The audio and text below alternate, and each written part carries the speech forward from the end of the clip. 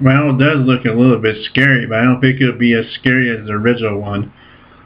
I don't know if I want to give it a chance because most remakes I have seen on TV have sucked so far. I'm talking about Carrie, Clash of the Titans, Robocop. They all suck so far, so I don't know if I want to give this one a chance in theaters, but maybe TV I will.